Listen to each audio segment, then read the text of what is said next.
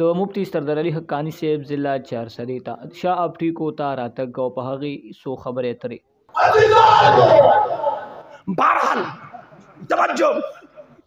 مفتی سردار علي حقانی صاحب د خیبر پښتونخوا نوښار سره تعلق لرونکي شخصیت په سوشل میډیا باندې بیانات کوي حضرت مولانا مفتی سردار علي حقانی صاحب په توجه نوم سره مشهور دی په بیان کې چې کوم تکیه کلام لري نو هغه توجه دی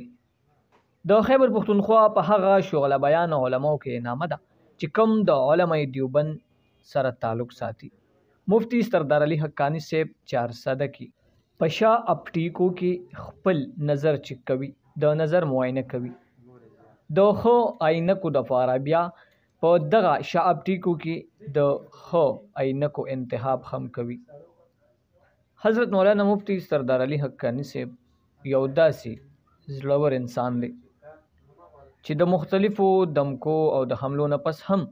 په میدان کې ولاړ دی او د دین شریعت محمدي صلی الله علیه وسلم د پاره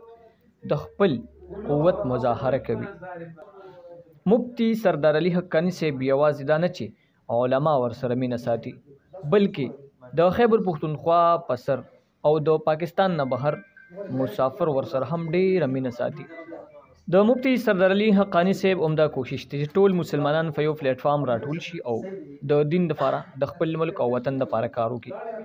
په چارسده شاه اپټیکو کې یې ډیر لوی خدمت دغه ملګرو وکړو دستور ټي وي خیبر پښتونخوا چارسده